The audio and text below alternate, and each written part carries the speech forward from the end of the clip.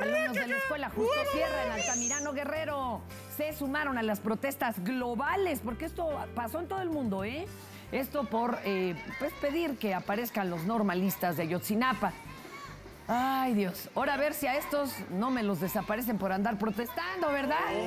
Están muy menores de edad, no Están muy manchen. No, cállese usted. Ese- Viejo ese es el arreola. baboso. Está bien que se manifieste, pero aquí se calla.